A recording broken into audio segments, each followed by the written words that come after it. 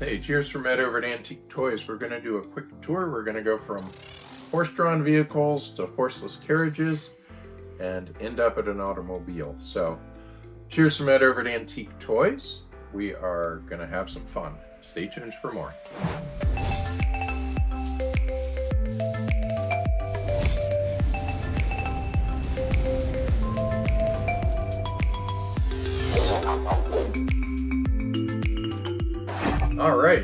Start with an older, if not one of the oldest pieces. This is J&E Stevens, Cromwell, Connecticut.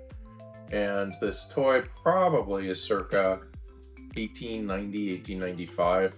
Uh, it's a jockey with horse. And as the horse goes, uh, the vehicle ends up having an action, which is going to come in a second. But it's basically his arm hits the horse to get going. So obviously this is the start. A man on his horse on his cart. Uh, later on in the toy world, this is similar to that 1890s, uh, 1910 uh, hansom cab, they called it. You got the horse, you got the taxi cab or cab driver, you have a lady rider. And so this toy in cast iron, people were familiar with at the turn of the century.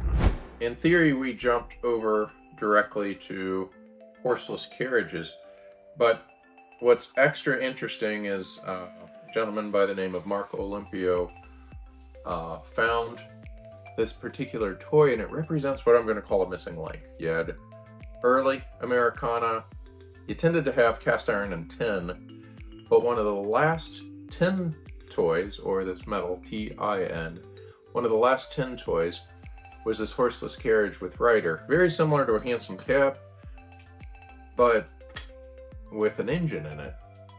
And uh, this is a great find. It's, it's most likely Fallows. It's probably one of the last toys produced by the American tin maker Fallows. Uh, probably circa about 1895, 1898 even uh, with a wind up that goes and a tiller. Uh, we can show a picture later where there's a horse version in this last iteration of that company. They knew things were changing. So exciting piece. A horseless carriage by Fallows goes forward and then it goes reverse and then it goes forward. You then go from that to about 1900, 1905 we have a man and lady similar to the horseless carriage, but truly a horseless carriage. This is probably a steam-powered toy, or steam-powered vehicle in the day. We actually have it as a wind-up version of this Kenton toy. Uh, it's got the tiller, that's before you had steering wheels. And this item, you wind up, and then the back, once you take pressure off you end up getting the wheels to run. Kind of a tricky toy.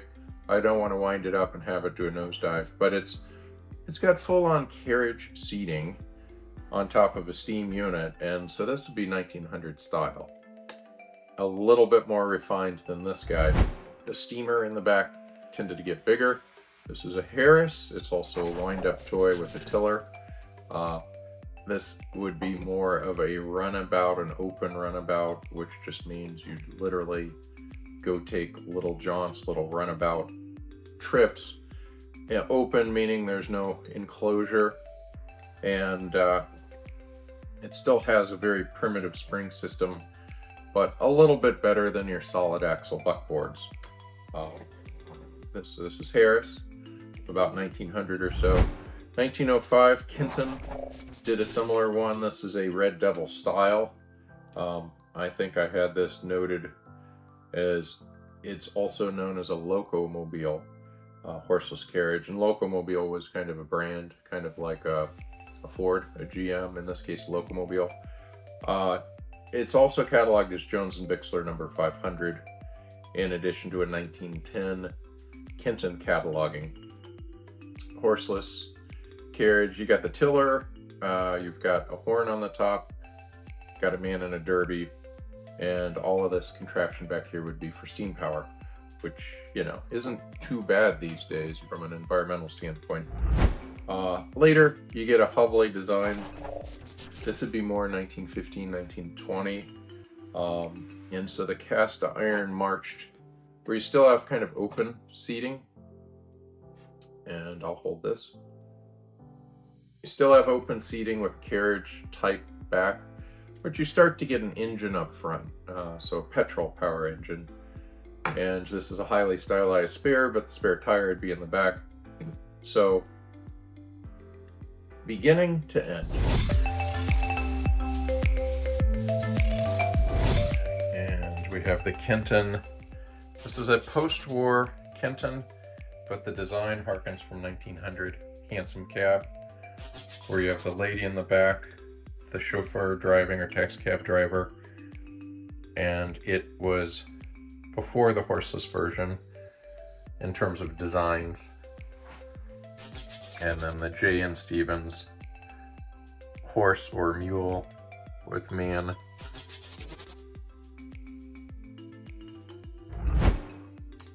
Here we have a Fallows horseless carriage, circa 1905.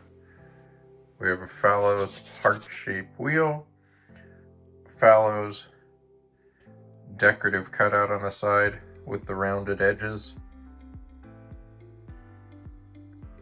We've got a taxi cab type arrangement with a man on the top, very similar to a hansom cab, but it's a horseless hansom cab. And then this would be the tiller for driving. We've seen a toy like this with horses, and we will share a photo. And you can see the clear evolution of Fallows toy line from horses to no horses.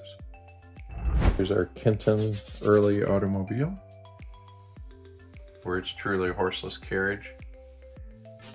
Original driver, tiller, lady appears original. And you've got underneath it, wind up. Okay, here is Harris. This is their own version of an open a runabout or an early car. Most likely in the back it was steam powered. There's the key. But we have kind of a clockwork suspension style with a New England style spring, clock spring.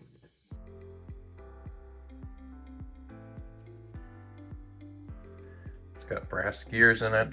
Most of them are usually worn. Uh, we have a click, click, a detente in there for steering. Close up of the Locomobile, which is by Kenton, and also cataloged by Jones and Bixler's number 500. It's the original driver with the Derby, where you could run about town and wear a nice suit. Okay, here's a close-up of the Hubley toy.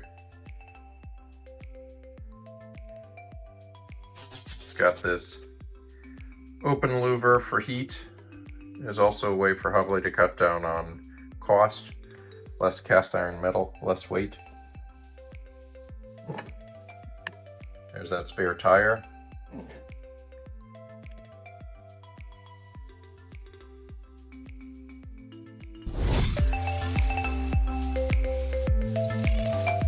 All right. Well, I appreciate your attention. This might have been a little long, but there's a lot to talk about. Keep us in mind if you have similar toys, whether you got Hubley, Kenton, you have Harris, uh, you have Early American tin, like Fallows, J and E Stevens. Please keep us in mind for toys, whether it's purchase, a consignment. Uh, we are also helping with Marz auctions and doing premier auctions each year, uh, multiple times. So let us know, toys at antiquetoys.com. My name is Ed. Be sure to subscribe. Be sure to like the video. And I greatly appreciate your comments. Uh, comment below. Let us know about anything you may have or just what you find cool. And if you have a follow-up video. So enjoy. Cheers from Ed over at Antique Toys. Check out the links below and have a great day.